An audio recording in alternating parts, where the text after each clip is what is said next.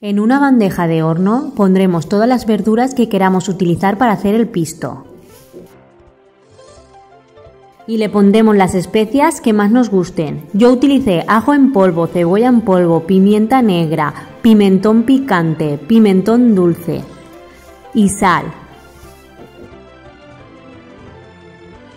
Pondremos un chorrito de aceite y tomate triturado. Lo mezclaremos todo bien y lo llevaremos al horno unos 40 minutos a 200 grados. Mientras en otro bol pondremos 200 gramos de harina, el agua, el aceite,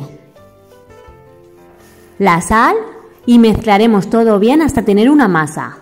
Cuando tengamos la masa la dejaremos reposar 10 minutos. Cuando saquemos la verdura Pondremos el atún y lo volveremos a mezclar. A continuación cogeremos un trocito de masa, haremos una bola, la aplanaremos. Pondremos una cucharada de relleno. Lo cerraremos con ayuda de un tenedor. Haz este paso con toda la masa. Daremos una pincelada con un huevo batido.